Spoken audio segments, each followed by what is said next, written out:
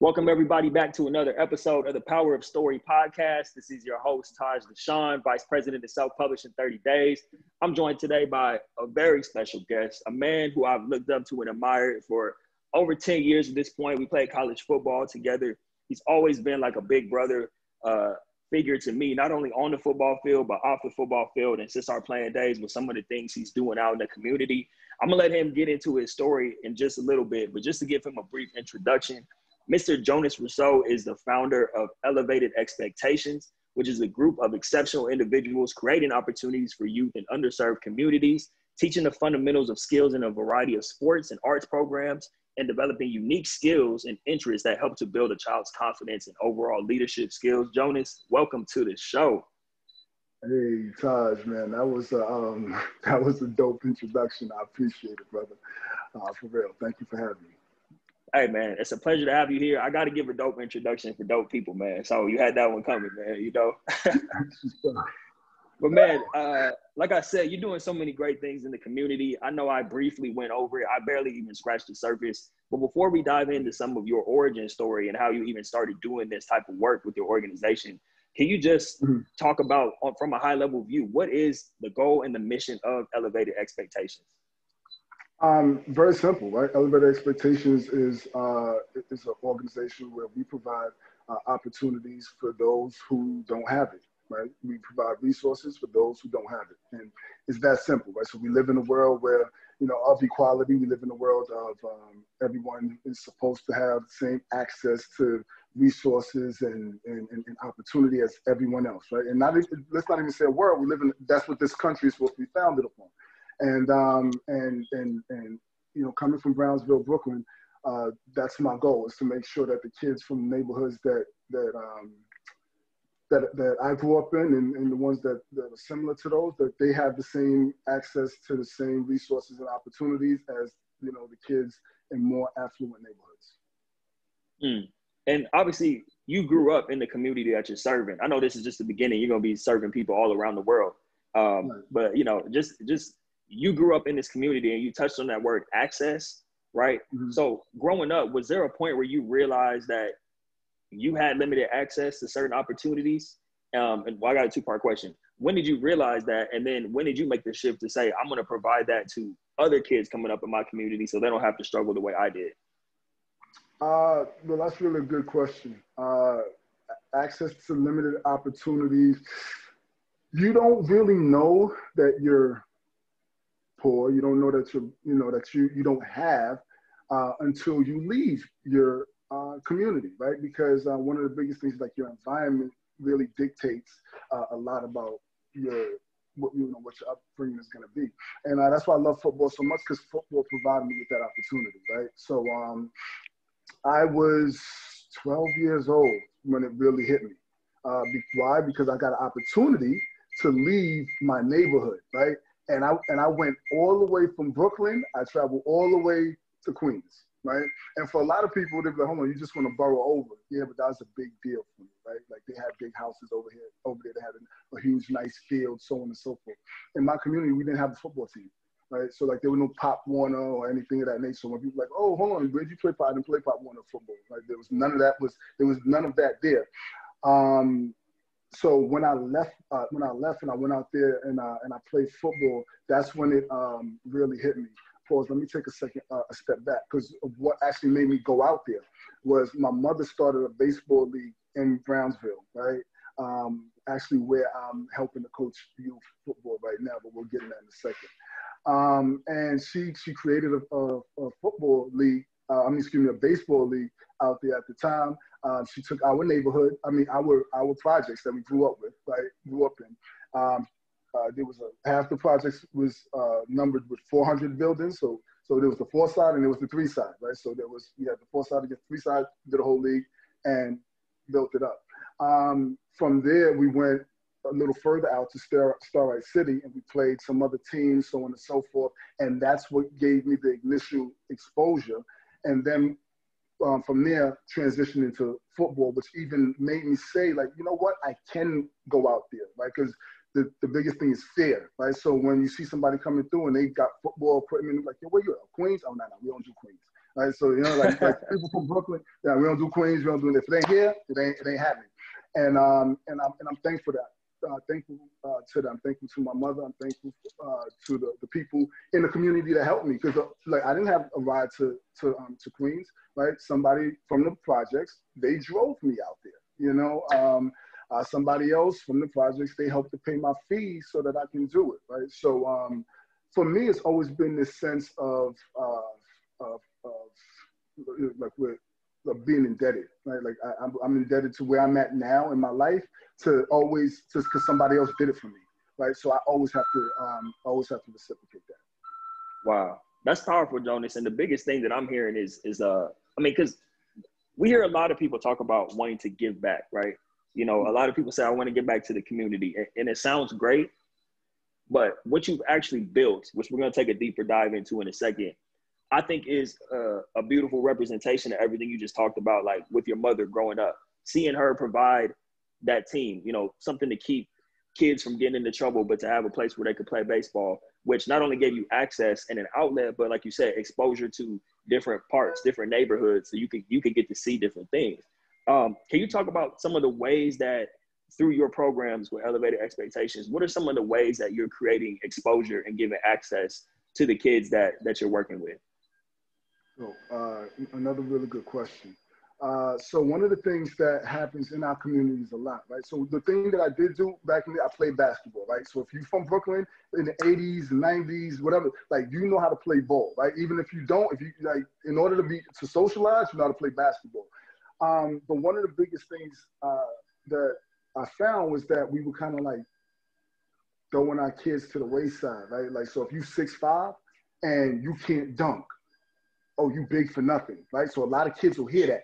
Nah, son, you big for nothing. I, I, and it's like, hold on, wait a minute, wait a minute, right? He might be 6'5", 175, but if you put him in a pool, he's the next Michael Phelps, right? Maybe that's what his frame was built for, not for dunking a basketball, right? But the, the problem is we get caught up in this community of like, this is all that you can do, right? So um, for me, I was blessed, you know, like, uh, you know, I was blessed with the opportunity to be able to say, okay, you know, like football was my thing, right? I was an aggressive kid, I go to earn.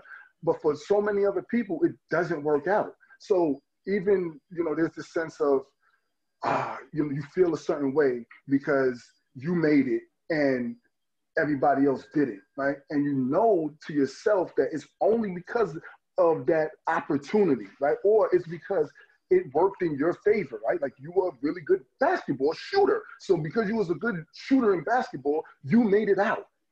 But that doesn't mean everybody else can, right? So now we need to identify what the other children in the community are good at and provide them with opportunities with things that they're good at so that they too can ascend out of the um, out the community. So that was my main focus um, with it. So I said, you know what, we need to do wild stuff, like stuff that you never thought about.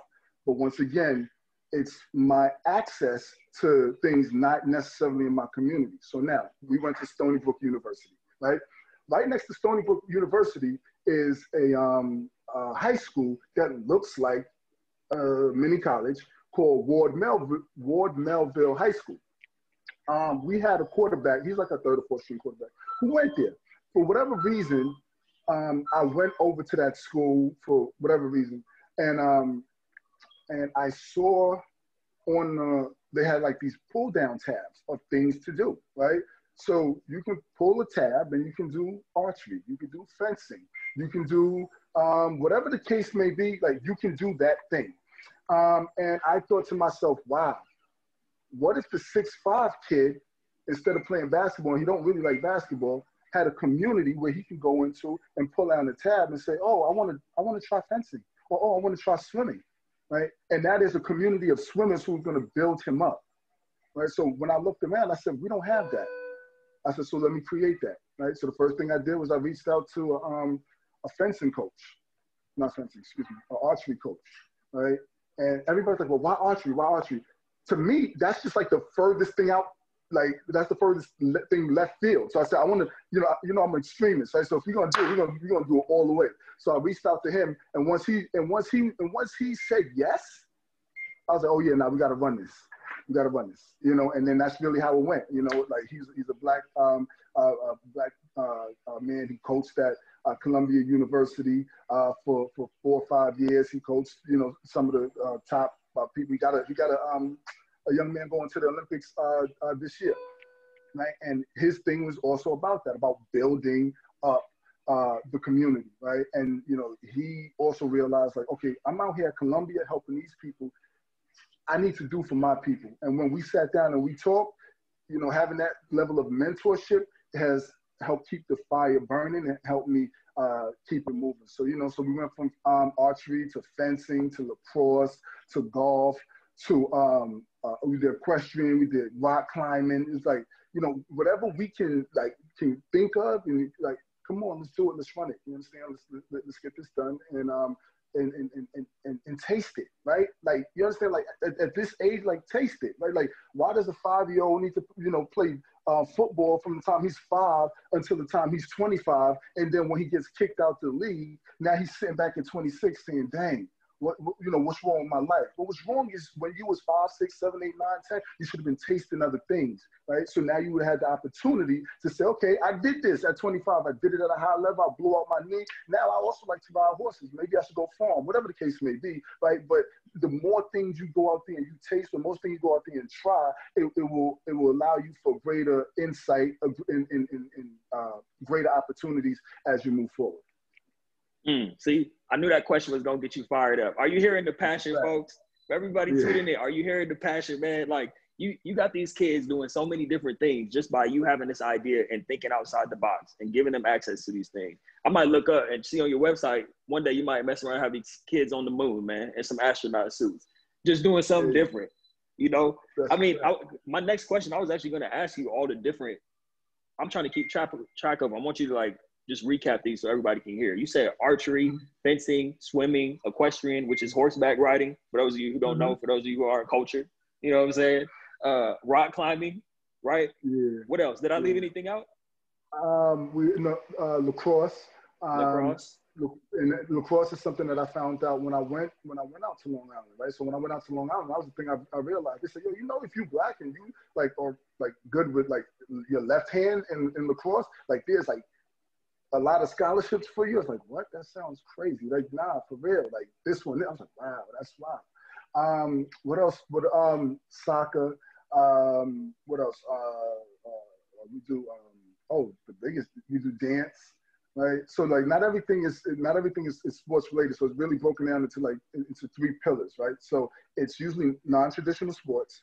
It's um, the arts, and then it's education right? So like everything is, is broken down to, to the three different pillars. So like most of the stuff we spoke about just now is underneath our um, non-traditional sports program, right? Then you have our arts program where we have dance, we have um, drama, we have theater, um, and we also have uh, art. You know, so we have painting, ceramics, um, you know, uh, everything. Like like our our art teacher is dope, right? She created the Black Lives Matter um, mural in Foley Square, right? So like, you know, like, you know, like we had, we, we're, we're putting the people around our, our children in need, right? And we're giving them access to these people so that they too can like say, oh, wow, I see somebody who, who's doing that. Now I can do it. Um, so, you know, that's part of the arts. Um, and, you know, our dance program is, is amazing. Have, look, the one thing I really want to put out there is that what really is going to separate us from other people is going to be our, our, um,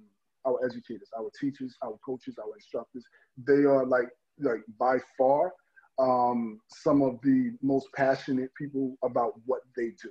You know, and um, so that's that's really big for us. And then we have education, right? So we have um, uh, we do we do math and ELA, um, uh, whether it's homework help, uh, tutoring. Uh, we deal with SAT prep. We deal with Regents prep.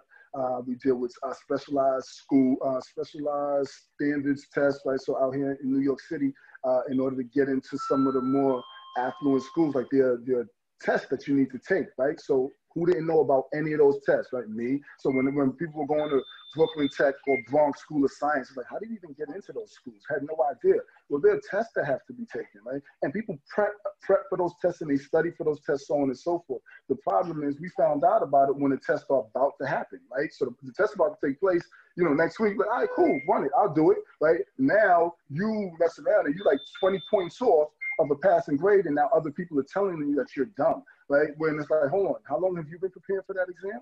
Oh, I've been preparing for that since I was, you know, in the fourth grade, fifth grade. You know what I'm saying? Well, I just did it last week, and I'm only 20 points off from you. Imagine if I just started last year studying for it. I'd probably take your spot, right? Which is why a lot of, you know, information isn't really uh, given out there, right? So you know things, you know, ELA, so on and so forth. And one of our biggest things that we that we just started this year, um, which is our financial literacy, right? So we have a whole stocks class, right? That's that's that's taught by a teacher. We have an actual financial literacy class that's taught by another teacher where she deals with um, with savings, where she deals with investments, where she did, you know, and and all of this happens from you know uh, uh, from kids from anywhere from 17 all the way up to college. I mean, excuse me, anywhere from seven years old all the way up to um, college age, right? So uh, we really start this off young, right? Uh, one of the things that we, we've identified is that uh, there's so many resources for children once they get locked up, right? So once they get locked up, right, like the, the, the, the, uh, the DOJ, they're there to say, look, I'm gonna help with this and help with that well, what about beforehand? How about we set up some of these preventative measures so they never get locked up, they never get arrested, right? They know, you know, they know how to invest, they know, you know, where to take their money and what to do with it, so on and so forth, right? So if we provide them the platform, the opportunities to get things done, uh, they will. So yeah, we have, you know, quite a few things that we have going on uh, at any given moment. That's awesome, man. That's beautiful. And the thing I really love about it is that whether it's the educational side, like you said, with the financial literacy or any other any other other components that fall under that educational umbrella, or the sports or the activity side, like you said, no matter what's going on, the most like the great part about it, one of one of the many great things about it is that you've assembled a team around it. So it's not just you up there teaching the class about financial literacy. It's not you out there on horseback or rock climbing or shooting. Like I know you do get your hands dirty and get in there with the kids, but you have professionals, you have instructors. So, like you said, people can actually get not just exposure, but educated about it. And that's key. And what, what's really inspiring to me, man, and I know people are going to go check it out. We're going to give you a chance to talk about the website and all the social media um, here at the end when we close out. But one of the most beautiful things that you see when you go onto the website, elevatedexpectations.org, when you go check it out, it's such a beautiful thing to see, you know, black and brown kids doing different stuff, man. And I know that other kids, when they see this, they're getting that exposure too. And so not only just for the kids, but for the parents and everybody being able to see that you're, you're, you're just changing the trajectory of generations to come, man. And I, and I love it. Um, one of the things that because a lot of entrepreneurs or aspiring entrepreneurs listen to the Power of Story show, right? And mm. uh, Elevate Expectations is a nonprofit, right? In, in order for you to have built this, you had to be an entrepreneur. Whether your business is for profit or whether it's a nonprofit, you have to be an entrepreneur to build, to put a system in place, to build a team, and to actually execute. So, can you just talk a little bit about for people who are aspiring entrepreneurs? Can you talk about? Oh, we got the. Is that the elevated expectations hoodie? Yeah, yeah, yeah there we yeah. go. So, we got the merch. So yes, yes I said let me let me throw this on real quick. Uh, first and foremost, want to shout out to uh, Royalty Status uh, for for the great work that they. Oh, hold on, let me get this right. Right for the great work that they do uh, here. Um, they've been working with us since day one, so a lot of the uh, uh, designs and apparel that you that you will see from us will be from my royalty status. So you know this is a part of the new line that we have coming out, um, which is elevate expectations and all be from you know from royalty status. So I just want to you know definitely get them a plug right because they do they do great work uh, out here. So I appreciate that. Um, yeah, that's clean, man. For those of you watching the video, if you're just listening to the podcast, you got to check out the video so you can see this fire hoodie. It's not out yet. I was just going to ask you, man, where can I get it? It's not out. It's, it's, not out yet. We're gonna have it. It'll be up on the website very soon, right? So uh, by next week, we'll definitely have um, uh, this this hoodie and um in, in, others in different colors, so on and so forth. That that should be up on um, on the website very soon. Okay, I love it, man. I love it, man. Definitely so keep at, an eye out for that. Elevated Sorry for cutting. Yes, sir. Oh no, no, you're good, man. The one thing I was going to ask you is, can you give some advice, or even just talk about your journey, or do a little bit of both? Advice about your journey to actually building this, what what this process has been like. Um, like I said, like we talked about earlier, a lot of people want to give back, man. A lot of people have great ideas, but are they willing to put the put the years of grinding in to actually build something that's going to have the type of impact that they envision? So, what advice would you give to an aspiring entrepreneur, whether they're going the for-profit or non-profit route, and wanting to make an impact? Um, my thing it, it would be to know why you're doing what it is you're doing, whatever it is, right? If I'm selling Coke bottles, why am I selling these Coke bottles, right? Um, if money is my my main objective, right, then understanding that you know certain things may not be for me, um, if impact is my main objective, understanding that other things may not be for me, right? So just understanding that. And for me, it's something that I've always understood because having an impact means more to me than any dollar amount.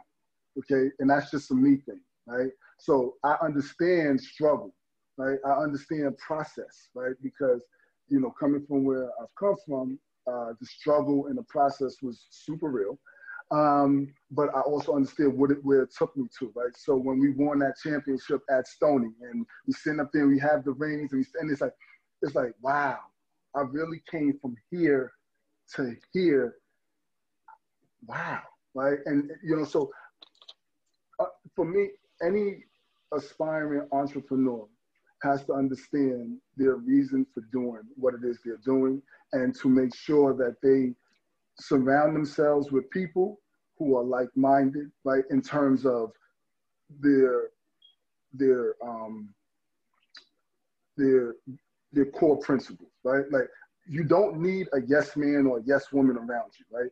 So for me, is are you a part? Are you looking to um, provide opportunities and build the youth in underserved communities?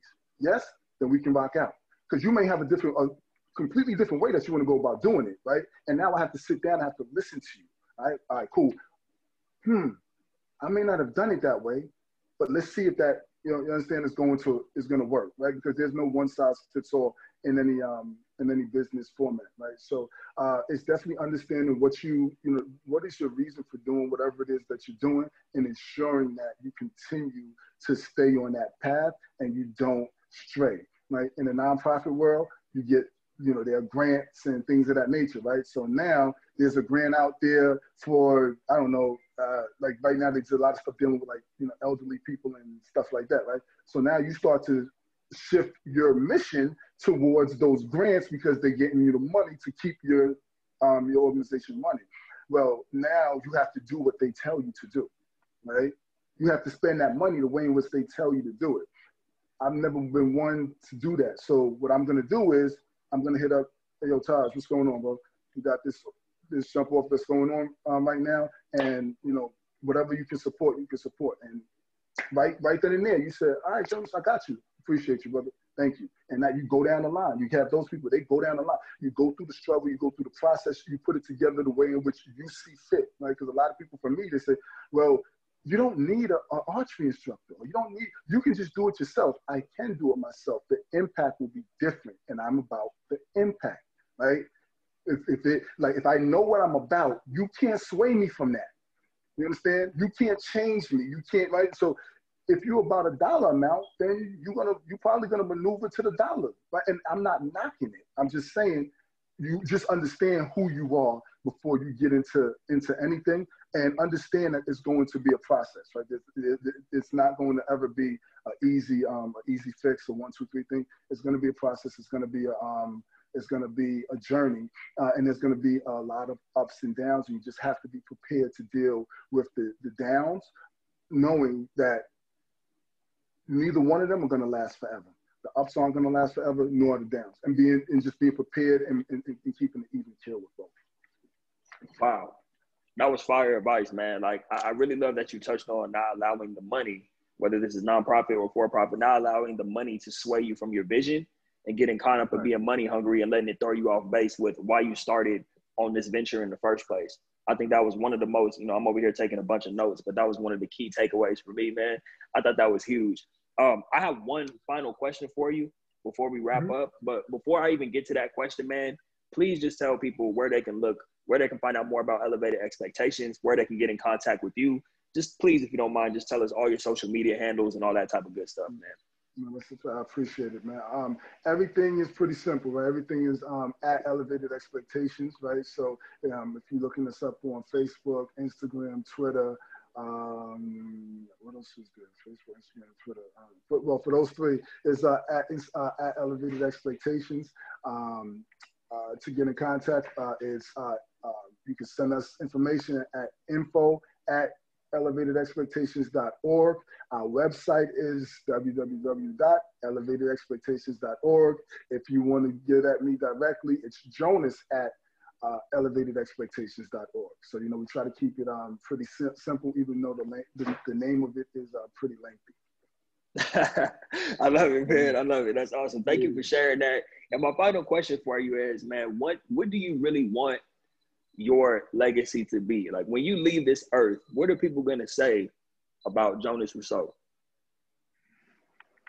Ooh, um, that cared, that he loved, that he was a, that he was a person of um, of, of, of principle, and that um,